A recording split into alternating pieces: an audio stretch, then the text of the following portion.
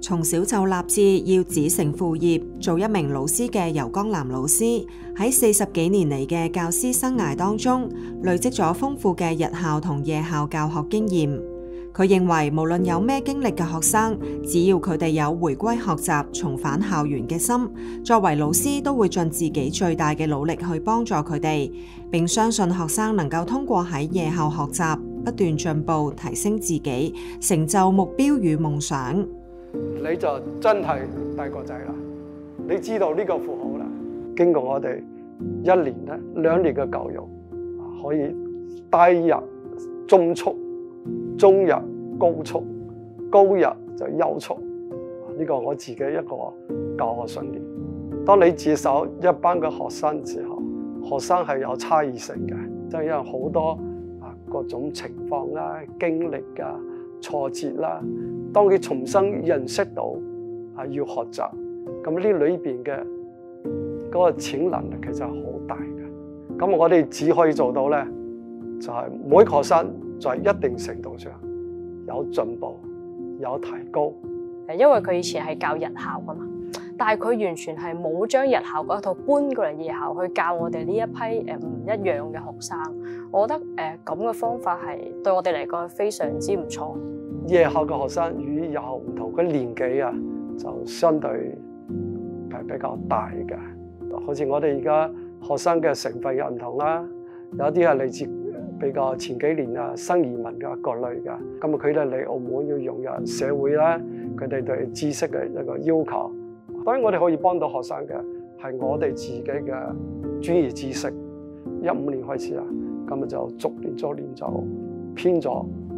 呢個適應我哋雙方學生嘅一啲啊有關嘅數學教材啊，當然每一年都要不不斷嘅補充啦。呢個新符號係嘛？二係咪底數？咪寫喺度。哦，原來呢個就係問號咯。咁日老師係一個資歷非常之豐富嘅一個老師啦。咁佢啊，佢有非常多嘅一啲。解題唔同嘅一啲技巧啦，佢俾咗我一啲非常實用嘅一啲解題方式啊，咁令我可以在做題上面非常之誒、呃、更加有優勢咯，各方面。在那個丙班呢，他們是四校班嘛，他們是要參加四校聯考的，而我在乙班呢，就我們教學內容是不一樣的，呃，但是呢，我但是我也要參加四校聯考。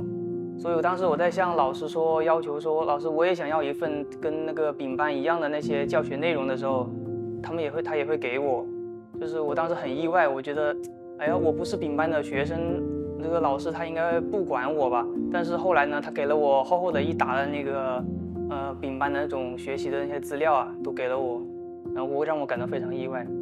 所以我就呢个讲法咧，呢啲全部都叫乜嘢？ES 嘅乜嘢？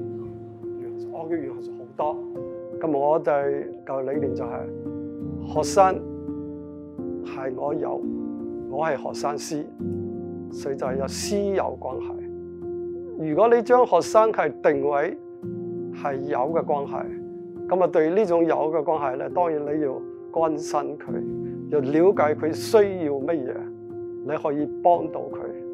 當然唔係就佢，我哋幾十年嘅教學中。啊，都有唔係講個個嚇，咁啊都有好多學生同我嘅關係，在呢種相處之下，就大家啊真係後邊就變為朋友咁樣啦嘛。游老師除咗幫助學生達成目標之外，佢更加積極探索回歸教育嘅教學方法，喺教與學嘅道路上從未停步，协助学校教师团队嘅建设，带领年青教师成长，成为老师同学生嘅榜样。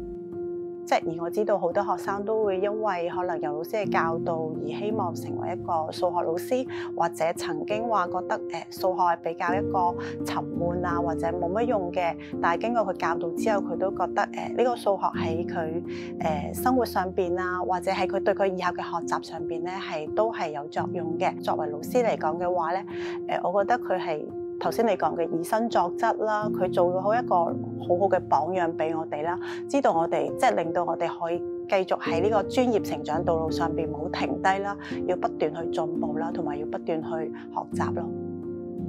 現今係一個不斷創新嘅時代，亦都係一個人才智慧競爭嘅年代。為咗加強學生嘅科學素質培養，由老師開辦科技興趣班，激發學生對科學同埋航天知識嘅興趣，培養佢哋嘅創新精神同能力。因為我知道澳门一個澳門星嘅，當時我就鼓勵學生參加。我將自己啱啱買未用過嘅電腦，我我教俾學生。啊！交俾佢，你攞去練嗰陣熱情啊！你唔可以翻學校啊，自己練咁啊，果然好真題，所以就真係要攞到嗰個一等獎，全國一等獎。尤老師除咗熱愛數學，亦都喜愛拉小提琴。雖然夜校冇開設音樂課程，但佢利用餘下時間組織音樂班，提高學生嘅藝術素質。好多學生。可能細個時候錯過咗呢種音樂教育嘅機會，十六七歲，佢哋自己對音樂嘅一種追求，先至俾引導出嚟、激發出嚟。所以嗰年帶咗一個班係呢個小提琴班係真係好成功嘅。啊，學習演奏吹口琴，學五線譜。跟住學小提琴，咁一個一個同學，嗰個同學好怕醜噶，喂，三十歲咯，但係佢對音樂就有興趣，跟我學咗兩年嘅小提琴。由老師嘅教學方法同理念，對學生日後嘅人生觀有深遠嘅影響。唔理往後學生嘅發展方向會係點，帶住由老師教導嘅精神，都一定能夠走得更遠。我哋一路強調，其實學習都係一個階段性嘅。我哋你呢度養成個養成教育，養成一個學習嘅一個習慣。